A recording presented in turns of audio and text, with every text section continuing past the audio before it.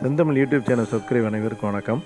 நம்மளுடைய சேனலை சப்ஸ்கிரைப் பண்ணாதவங்க புதுசாக பார்க்குறவங்க நம்மளோட சேனலை சப்ஸ்கிரைப் பண்ணுங்கள் லைக் பண்ணுங்கள் ஷேர் பண்ணுங்கள் பெல்லைக்கானை கிளிக் பண்ணுங்கள் நாங்கள் போடக்கூடிய பதிவு உங்களுக்கு உடனே கிடைக்கும். நல்ல தகவல் உங்களுக்கு வந்து சேரும். அதனால் மறந்துடாமல் ச சப்ஸ்கிரைப் பண்ணுங்கள் இந்த பதிவில் நம்ம இன்றைக்கி பார்க்க போகிறது பருப்பு வடை. இந்த பருப்பு வடை வந்து ஈவினிங் ஸ்நாக்ஸுக்கு ஒரு அருமையான ஒரு ஐட்டம். சின்ன குழந்தைங்கள்லேருந்து பெரியவங்க யார் வேணாலும் சாப்பிட்லாம். நம்ம வீட்டிலே எளிமையான முறையில் கொஞ்சோண்டு மாவு இருந்தால் போதும். ஒரு இருபது முப்பது பீஸ் பருப்போட நம்ம தயார் பண்ணலாம். இந்த ஈவினிங் ஸ்நாக்ஸ் முறுமுறு கரகரன்னு ஒரு அருமையான ஸ்நாக்ஸு இந்த பருப்போடைய தயாரிக்கிறதுக்கு என்னென்ன பொருட்கள் தேவை? நாட்டு செக்கு கடல் எண்ணெய். ஒரு வேண்டிய அளவு கால் லிட்டரோ அரை லிட்டரோ வாங்கிங்க வடைப்பருப்புன்னு கடையில் கேட்டிங்கன்னா தருவாங்க. அது கடலைப்பருப்பு மாதிரி இருக்கும். அது தேவையான அளவு எடுத்துக்கோங்க. இஞ்சி ஒரு துண்டு அதை தோல் நீக்கி அதை வச்சுக்கோங்க. பச்சை மிளகாய் இப்போ நானூறு மில்லிகிராம் பருப்பு எடுத்துக்கிட்டிங்கன்னா ஒரு ஆறு மிளகாய் போட்டுக்கோங்க. சோம்பு ஒரு ஸ்பூன். ரொம்ப அதிகமாக போடாதீங்க. சோம்பு ஒரு ஸ்பூன் போடுங்க.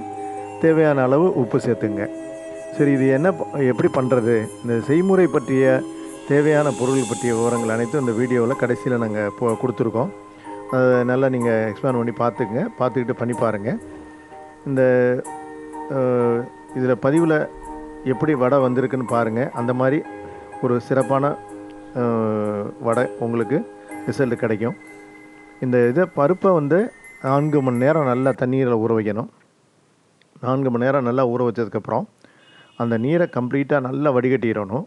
அதில் நீர் இருக்கக்கூடாது. அந்த பருப்பு தனியாக ஒன்று ஒன்றா கவுண்ட் பண்ணுற மாதிரி அளவுக்கு தண்ணியை வடித்த பருப்பை எடுத்துக்கங்க.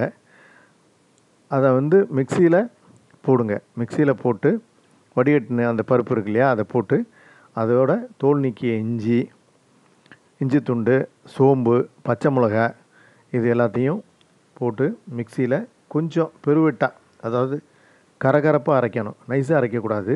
கரகரப்பாக அரைச்சிக்கணும். அரைச்ச விழுதோட நறுக்கி சின்ன சின்னதாக நறுக்கி போட்டு கொத்தமல்லி கருவேப்பிலை இதெல்லாம் ஒன்று சேர்த்துக்கிட்டு இந்த படத்தில் காட்டியிருக்க மாதிரி மாவாக ஒன்று சேர்த்துக்கிட்டு அதை வ வடையாக தட்டி அந்த ஏற்கனவே நம்ம சுட வச்சுருக்க நாட்டு கடலை நாட்டு செக்கு கடலை எண்ணெயை போட்டு எடுங்க. நல்லா வேக வச்சு எடுங்க. உங்கள் சைஸுக்கு தேவையான சைஸுக்கு பெரியசாவோ சிறுசாவோ எந்த சைஸுக்கு வேணுமோ அந்த சைஸுக்கு தட்டி அதில் வடை சைஸில் தட்டி அந்த எண்ணெயில் நல்லா வேக வச்சு எடுங்க.